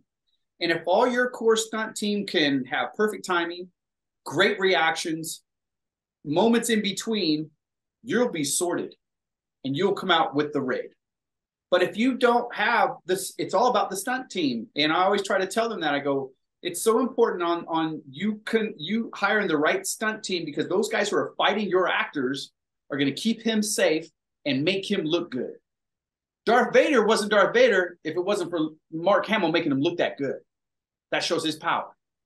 And I go, and that's what this is about, you know. And you can do a raid because you got the heroes already. You sorted. Make sure the guy's young and he can move. Done. It's the stunt team around them. And you can totally pull this off. You're just going to have to cherry pick them. Yeah. Or or train them or train them. So, but to train them, you got to give these cats time. Now, this is touchy, but I'm going to go there. Do you Uh-oh. think that the stuntmen's union in India is a hindrance here? Oh yeah. man! Oh man! I put you in the hot seat, but I saw it. Don't even get me started. Okay. Let's ask that question again. See how I can answer this. It's always an issue. Let me let me let me let me let me phrase it in a constructive way. If you were to be able to sit down with the Stuntman's Union of India, what would you recommend? Well, number one, there's not one union. That's the problem. That's problem number one. There's not one union. Problem number two, they have too much power. They can shut down a production. It's unacceptable. If I come in as a foreign master, right, and I come in there they handpick guys for me. I don't get to handpick. It's not like the rest of the world where I can go to London and hire whoever I want, whoever's right for the job. Whoever's right for the job, that doesn't matter to that union. They're going to pick who comes to set.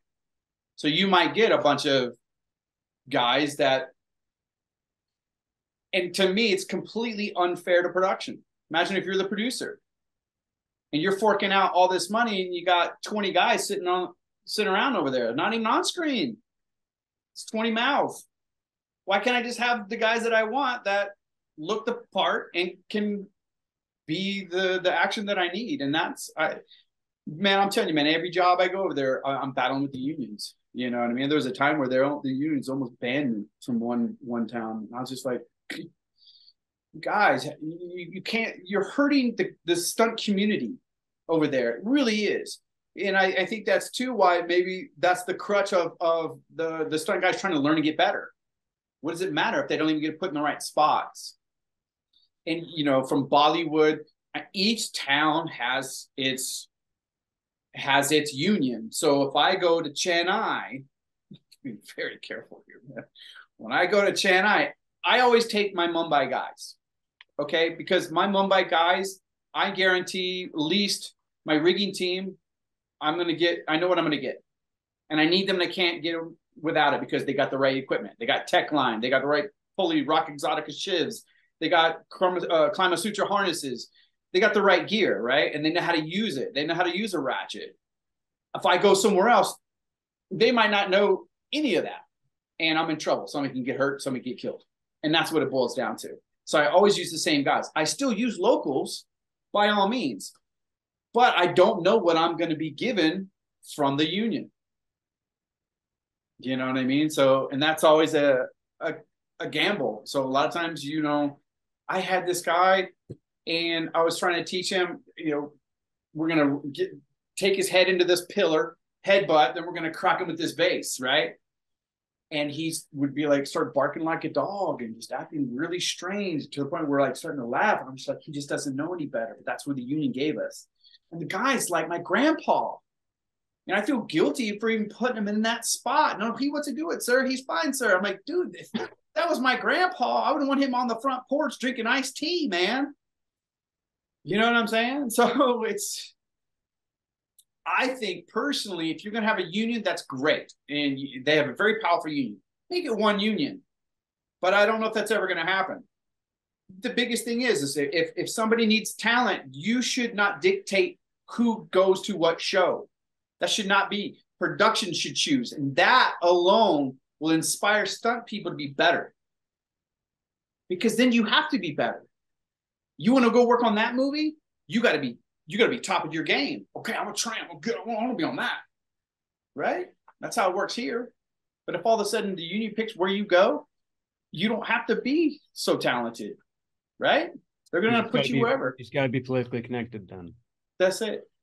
Like, I mean, why can't you just go and you know bring your get your mumbai guys and do a low budget indie film don't even deal with the union um like what's the harm in that? Is that illegal? I mean so the, here and then here's the other kicker. So however many guys i bring from mumbai say i go to let's say i go to chennai they got to hire three. I think they might have changed it to two now but it's usually two to three guys per my one guy as a match. How does that seem fair for production? You know, why do I need so many guys? And and if I do bring this one guy from Mumbai, their union from Mumbai says he's got to come with an assistant and another guy. I'm like, what the? Why do you need an assistant? You're a stunt guy. Why do you need an assistant? Bring your stunt bag and let's go to work. Yeah. You know what I mean? Sorry, yeah. sir. That's that's just my union. I can't do anything about that. I'm like, oh. so next yeah. thing I know, I my the the cost goes elevated it's actually not not that cheap to hire stunt guys in Mumbai. People don't know that. I action directed Man Who Feels No Pain, and then I saw the credits, and there was this other guy's name on the credits as action director. And I asked the director, I was like, "Who's that guy?" He's like, "Oh yeah, it's the union." I never met. I don't know. I never met the guy. You never met the. You never even never met, met your guy. match. No, I have no idea who he is. Yeah, so he shared credit with me. I hope he's happy. Uh, you know, we're we're coming from a country um, America proper, U.S. United States of America proper is 250 years old, and our trade guilds are, I don't know, 200 years old. Screen Actors Guild and Theater Guild is like what 150 years old or oh something. Oh it started in radio, yeah. Yeah, so we're talking about coming from that and going into a culture where trade guilds have been around for 2,500 years. Yeah, and I wonder how rooted are those stunt guilds? I mean, how much would you even have to untangle to reform that. I mean, you're you're. I don't know if it'll ever happen. You know, I, I don't know if that would ever happen, just because I think it's such a web, yeah. entangled web that runs so deep. I don't see it happening, and the corruption. It's just it's Chinatown. Yeah, man. If you go, you look at okay, okay, Chinatown. So let's just talk about China. Okay, so you got those stunt teams over there, right? So they they work for one guy and they're on that team, right? And they don't go outside or anything like that, correct? For the most part, it's I, I don't know, man. in a way, is that better? You, you know, but you, then you don't get days off. And India's the same way.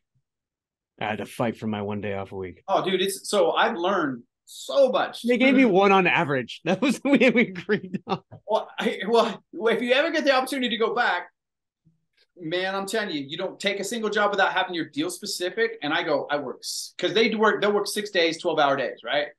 And they'll keep working. I go, no, that's my max because I've done that continue, and it just it took a piece of my soul and I won't do that again. But I'll, give you I'll give you a piece of my. Uh, but anyway, so I work six six on twelve, and and then if you want me to work a seventh day, I'm gonna charge you triple, and my whole team. And so they're like, no. Yeah. And that's just for our our safety. You know what I mean? You're talking about action. You know. This was what blew my mind, Lee. Like these guys, uh, they they didn't take a day off a week. I did. Uh, me and Dennis, we took a day off a week. Good. And I again, it was on average, but I was like, you, you can't be doing this thing where like every three weeks we get three days off. Like there, there was definitely a span of you know ten or twelve days in there. But these guys, they would probably start work at six a.m. They probably wrapped at eight, at maybe nine p.m. And then they commute home for an hour and a half, if they even go home. And they do this seven days a week for four months. Where, where's the reservoir? Where's the quality control? That too. I mean, I don't I mean, know how you stay awake. You're talking about risking a, your person's life, whether it's crew or cast or whatever. That that's so dangerous. Why aren't you giving at least a 10 hour turnaround, 12 hour turnaround? I, that's in my contract. You know what I mean? We're like, what is that? I go, that's to guarantee that I'm. You want my brain? That's what my brain takes. If I don't sleep, you don't get my brain. And that's what it's. That's what this is all about. It's quality control. If if hey, uh, Christopher Nolan's got the best philosophy ever 10 hour days. Everybody gets 10 hour days, period. Crew, cast, everybody. Bueno. Now you're talking about quality control. You care about your people. They're going to work harder. You're going to get a better end result. If you just beat them to the ground, eventually the degradation of that quality is going to start happening quick. Yeah. And we get that in America sometimes too. With you know, like grip crew is always their call time is always five a.m. and they oh, wrap yeah. at seven p.m. And I, I always feel for those because those are the hardest working dudes. And oh, 100 percent. Without your grip crew, you got nothing. Oh man, what are you gonna do? What about the union? So here's where I don't think it's fair either. There's different shifts. So shift one is from six to like one or two, and then that's a whole that's a whole day. And then there's another shift that comes into not to nine. So if you're working 6 a.m. to nine, you're two shifts. You're double paid. What well, how is that fair to production? Why don't you just call me? And that's why I keep telling them, I go, don't bring in my stuntman, let him sit on set all day, just draining his body and energy when I don't need him until this time to this time. No, sir, it doesn't work like that. It's about shifts. So here we hire a person, you're on an eight hour shift, period. Or if you're on a weekly, it's going to be different but it's based upon that.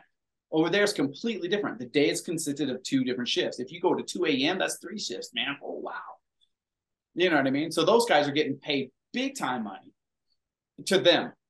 And yeah. but to me, they're they're suffering quality at the same time, and production has to pay more money. Yeah, I couldn't even get them to get me a pad sometimes. So so again, that's why I made sure I hire the same team every time I go. Because I just tell my guy, hey, dude, go grab me a, a, pad for the actor. Done. Boom. Gone. He's back quick. So, but it took me a while to figure everything out. It, going in blind would be very hard. no. Yeah, I learned my lesson. Yeah. if you ever go back, hit me up beforehand. I ended up just carrying the pa- the coordinate. I just had I was like a I was like a traveling uh you know they have the Saint Bernard in the cartoons it's got like the jug of whiskey and like, Yeah, yeah, exactly. It was like that was like me with the pads. I was like grab a pad. Come on, man. Get one. Yeah. Yeah, dude. Yeah. Eh, eh, nobody had them. Nobody had pads either, which blew my mind. Again, that's why I only hire the same guys and and how I got into that uh, hiring the same guy was when I had to go to Mumbai for my first show. I called up Mike Lee. So Mike Lee had been there with Jack Gill uh, before on this show called R1, Raw One, right? And he had met Habib and all those guys over there, and you know they all clicked great because um, the team is amazing, and they left a lot of their equipment and all this stuff. I I called Habib from Mike Lee, and I've been with him since from the beginning. He's smart. He's switched on. He has the right gear. He's got the right mentality. And he was a hell of a driver too. He flipped on how many cars for me. You know, um, that's another thing. There's a lack of there are drivers. Now I'm supposed to go do this big car movie in a couple months. And I'm like, you know, just so you know, you don't have but like three drivers. This is a big car chase, and you got to prep vehicles, and they don't think about vehicle prep. And that vehicle prep is extensive. You know, you jump in the car, you crash in the car. How many of those do you need? So on and so forth. I mean, Fast Five, we had a warehouse full of cars and mechanics working 24 hours a day, seven days a week.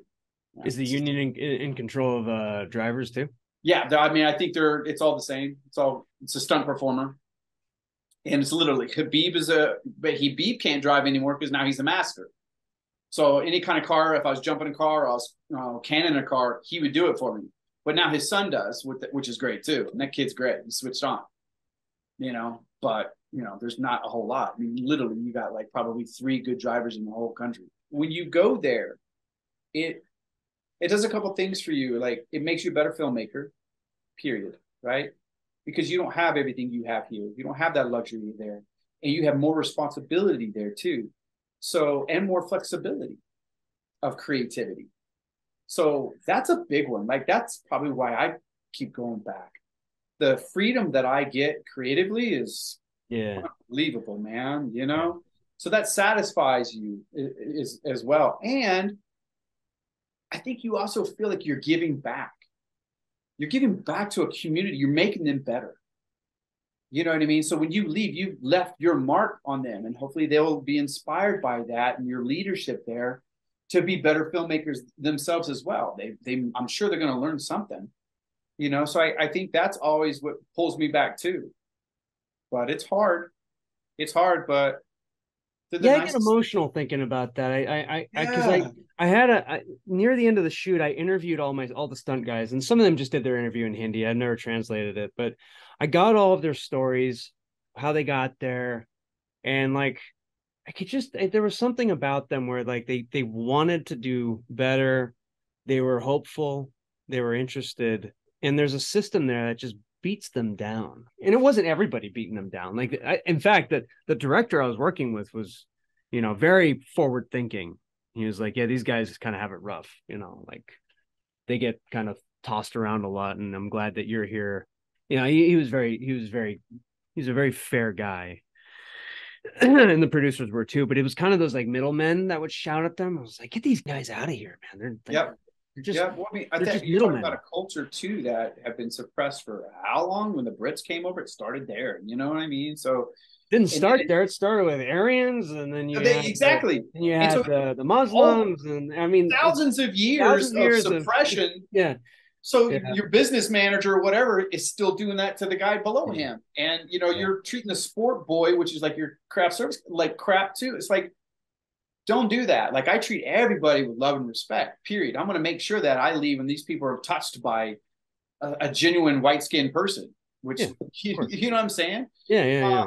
But I watch them constantly getting beat down by their boss or by this guy or that person, getting yelled at, screamed at. I'm like, wow, doesn't need to be like that, guys. But then you come over to our place too, and you you know you get on some of these sets and you you you got just as much egos flying all around the place, man. And, and I don't like that either. That's true. I hate ego.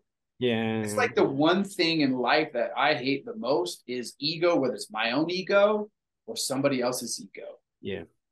You know? But, you know, for me, it's a constant lesson I got to learn, you know? It's hard to teach what you've gone through. Where you, well, you, how, how do you teach hunger? Well, I tell you, I tell you, that's a, I'm glad you said that because the first time I was in India, you know, you're you're heading to set early morning, 6 a.m. And at every light you stop at, there's a beggar. Right? Just like we have we have homeless here too. You know, there's a tap on your window and they want they're not you know, four years old. Yeah. Well, so that so one morning I, I we're leaving for work and I get a tap on my window and I look over and it's this little girl. She's probably eight, nine years old, completely naked, covered in filth, except for right her, under her eyes, but she was crying. That messed me up. That messed me up so bad for the whole rest of the week I was there. I come back to LA, I get lost downtown, tent city. I see almost the same thing. And that's when I wrote Catching Fireflies about homelessness. It was all because of India. Is this your short? That's my short. Oh, please send it. I will, for sure. What prospects do you see for uh, Indian action stars working in action films outside of India? I think it's 100% possible. Um, I think it's going to be about the director. You know, it's being able to take those guys, like two of the guys that I worked with over there, that I wanted to turn them into Statham. It was it was too hard because they wanted to be Jackie, like I kept saying, but they were so skilled at it. Like if you would have just listened to me, I I could bring you over to the states and I could do a co-production. You know what I mean?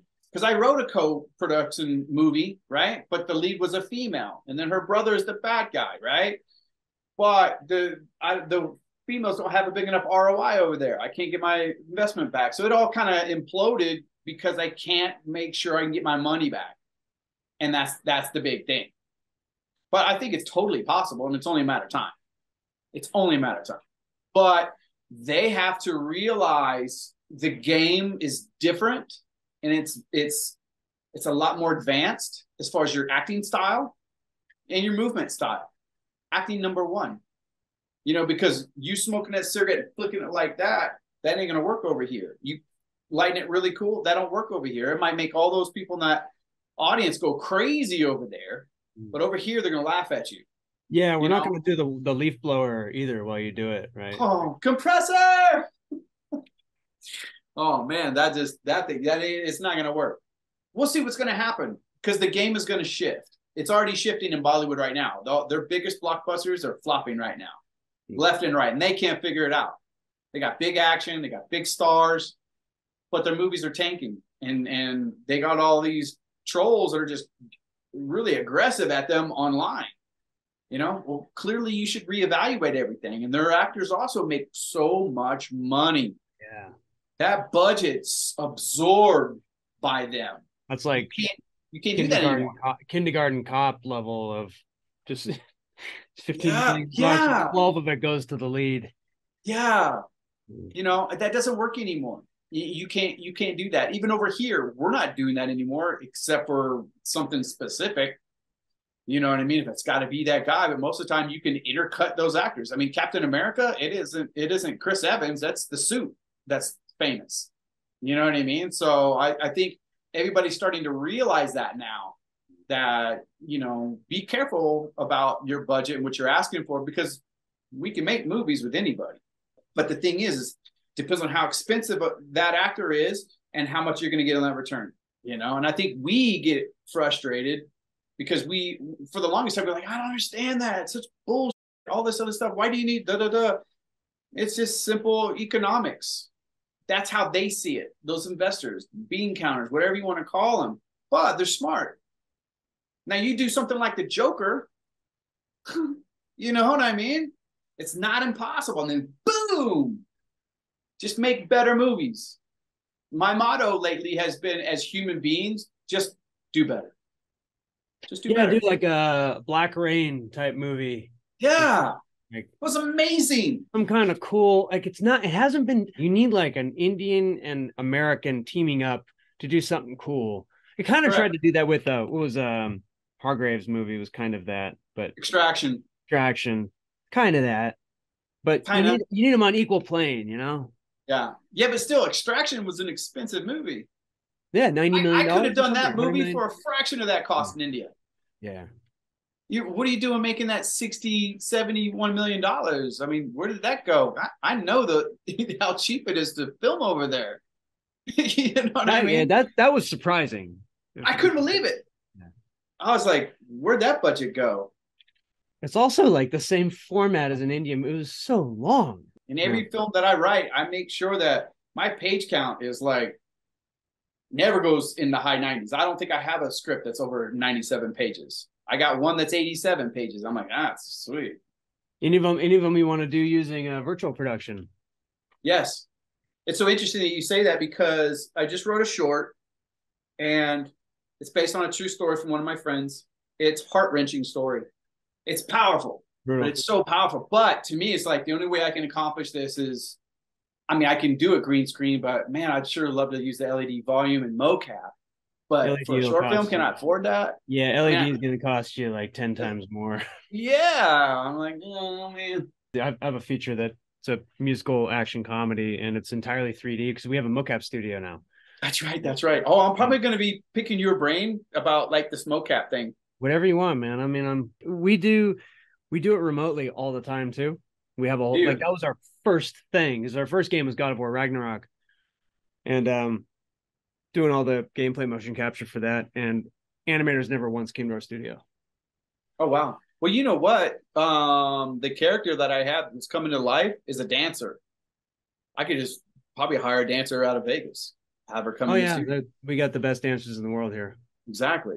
so we're i'm always trying to like pick talent from here before they totally transition to la because they work hard Yeah, and it's hard to find those kind of people, man. yeah You know what I mean? I just feel, especially for me, even even today when I'm shooting here in the states and hiring guys, stunt guys, you know, it's it's the sense of entitlement that's so different of a culture than what I grew up in, and I try not to be disrespectful about it because it's that's just who they are. But man, we had to work so hard to get there, and to, and you once you get there, if you want to stay there, you got to work even harder. I mean, it's just Oh, like yeah, I it never ends. the stuff out of kerala whenever i get a malayalam concept like that was always the most interesting stuff because it's gritty there's heart to it like you said i mean it's like the deeper material Yeah. whereas like the you know the mumbai stuff was always like marvel Not i at all. watched a marvel thing and i don't know I refuse. yeah. I can't do it, dude. I can't put my soul through it. In my creative juices, it squelches it completely. what is it do you think about marvel that does that It's like Blumhouse. If you think about it, if if once you figure out that that core finance structure and just full throttle and just milk it till it's dry, Yeah. Boom, you figured it out. MCU did that. Disney took Star Wars. I mean, think about look, they figured it all out. Now they just mass produce.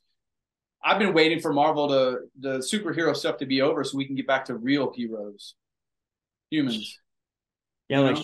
like uh what was it what was the Shaq movie you did? Steel?